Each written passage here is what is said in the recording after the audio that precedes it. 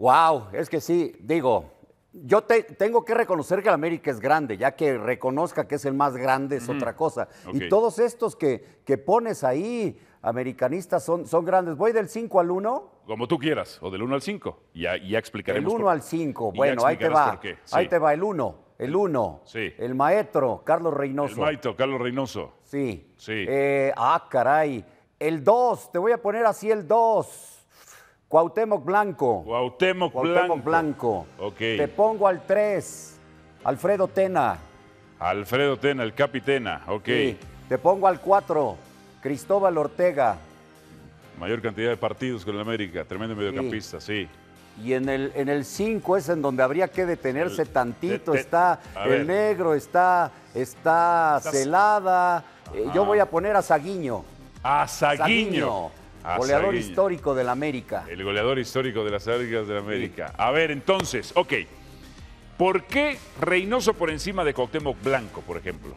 Reynoso ha estado involucrado en momentos muy importantes del América. Cuando él vistió la camiseta del América, empezó a hacerse esa gran, enorme rivalidad. La década que, que jugó Carlos Reynoso, enorme, era el mejor jugador, no nada más del América, de todo el fútbol mexicano, Sí. con títulos por todos lados, incluidos como técnico, ¿no? En aquella etapa maravillosa que tuvo. Entonces, para mí, por eso, y no tengo duda, ¿eh? Yo lo pongo quizá como el mejor jugador extranjero que ha jugado en el fútbol mexicano.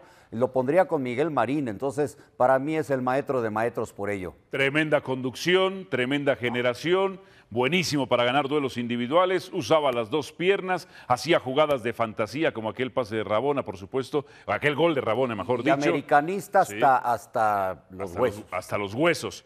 Cuauhtémoc Blanco, el 2.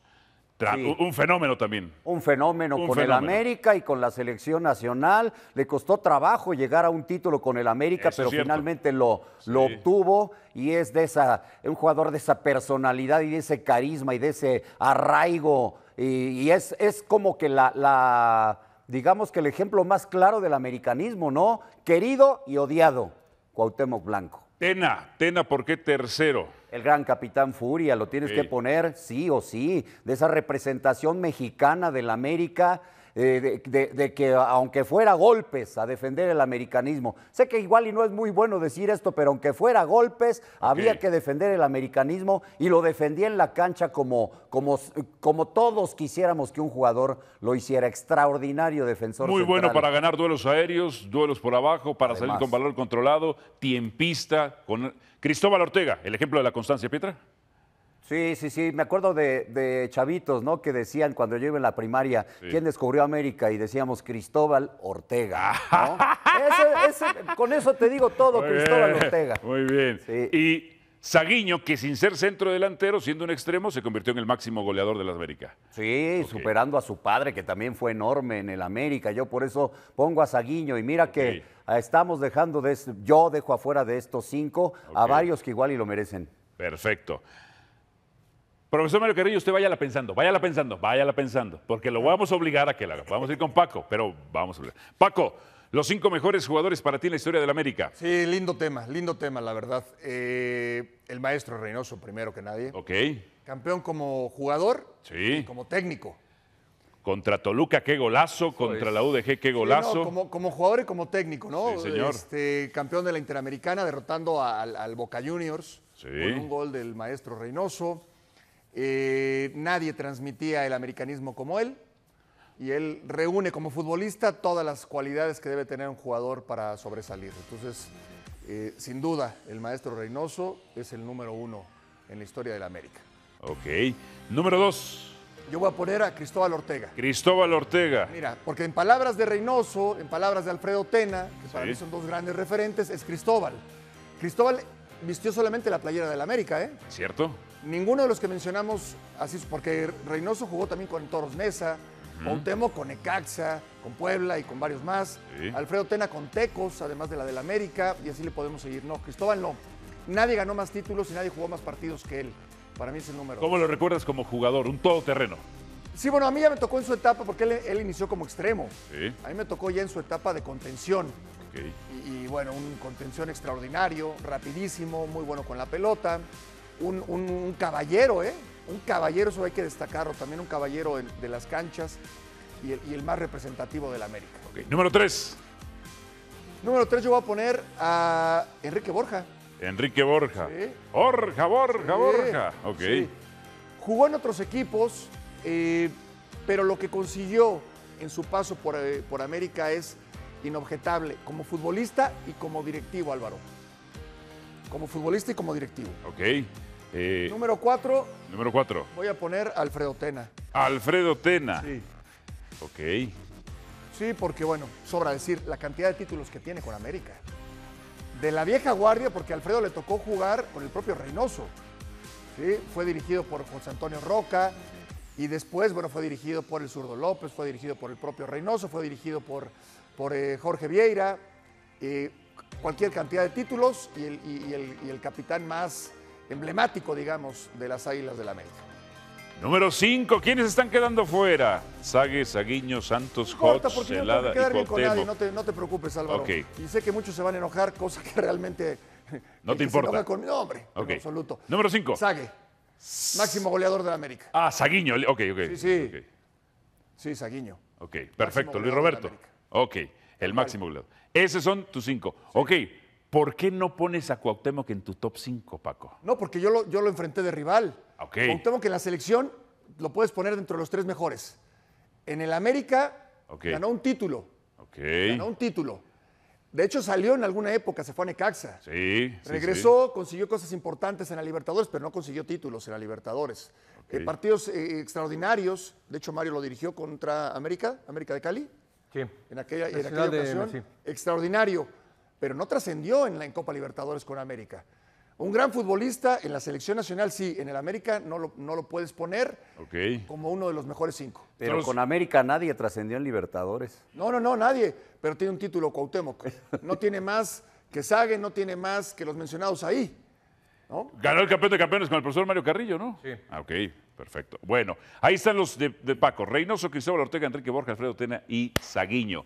Ahora sí, profesor Mario Carrillo. Sí. Usted, Ahí te voy. Cuau- Cuauhtémoc el número uno, Cuauhtémoc, Sí. el número uno. puesto. Perfecto. Como, como futbolista, de lo mejor que he visto en mi vida. Ok. En la América y en la selección nacional. Y, y algo importante, en las Copas del Mundo. Lo que hizo Cuauhtémoc es algo extraordinario. El número dos, Reynoso. Reynoso, el número dos. ¿Qué le parecía, profesor? Cuéntanos de él. No, no, de Reynoso extraordinario. Es decir, yo lo tuve a los 15 años. Ajá. Era Fenómeno. bastante desagradable como compañero. No, a mí me pasaba repasando todos los días. de- Pero así es, cuando eres de la reserva y él es primer equipo, Ajá. te dan con todo. A ese me daba con todo. Bueno, Ok. el número 3, Alfredo Tena. Alfredo Tena. Alfredo Tena, eh, futbolista, ganador, líder, emblemático. Este tenía todo. Todo. Portento físico y técnico. y, y mental. Este defendía a América más que nadie. Es de los que mejor vi. El número 4, Ochoa. Número Ochoa. cuatro, Ochoa. Sí. A mí, por ejemplo, en lo particular, Ochoa, Fue su portero. sí, pero aparte él me ganó campeonatos. Este portero gana campeonatos, gana partidos, pero gana campeonatos. Pero espérate, en la América y en la Copa del Mundo, ¿eh? Contra Brasil fue el. Hombre, pregúntale al piojo. Sí.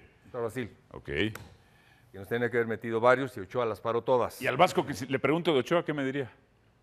El Vasco, pues el Vasco no quiso meterlo. no lo conocía. No, no, sí lo conocía, pero él quiso meter a- al Conejo. al Ok. conejo. Ok. El número 5, ahí tengo dudas, pero va, futbolista Santos. El Negro Santos. Negro Santos. El número 6, Cabañas. Y el número 7, Sague. El número 6, Cabañas. Y el número 7. Mira, a mí Cabañas era el jugador, el centro delantero más extraordinario que vi.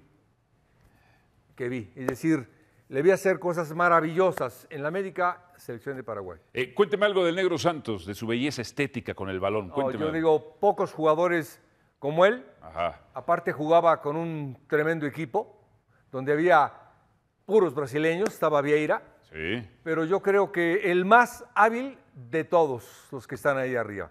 Habilidad, hablo con el balón. Recuerdo esa final contra Cruz Azul. Los destrozó. Extraordinario.